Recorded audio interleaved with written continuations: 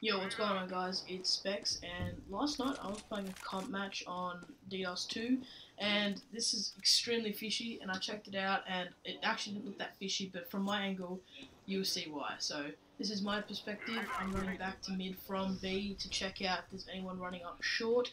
Then I quickly check out T-spawn and I see him clearly and then I decide to check out uh, if he's pushing through barrels to the left and then once I pick back, bam, right in the head. I was like, hang on, what? At this point I was like spamming hacks in chat and stuff, and I was like, no way, that was legit. And then I go to his perspective, and I'm just gonna show you what happened. So basically, he goes AFK for a bit, a few seconds, don't know why, and then he just stays there, and then he jumps on one of his mates and just takes out one of my teammates. So you see here, so here's the M4 A1S that just recently got buffed. And he doesn't take out the guy at bedroom, don't know why, but then he pushes back up to T spawn for some weird reason. His mate gets knifed, and then he he's looking at me. He just looks at me randomly, and then he takes out my mate, and then he's just chilling here.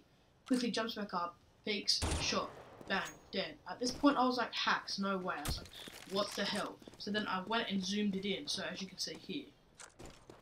So I've slowed it down here, and as you can clearly see, he's just peeking right at my head, and then as I go to mid, he just sees me. It's so random. I don't know why he did it and it's just so random. And the fact that he knew where my teammate was as well, it's probably because his mate got knifed, but I'm not sure. So if you guys did enjoy the video, don't forget to like, comment, subscribe.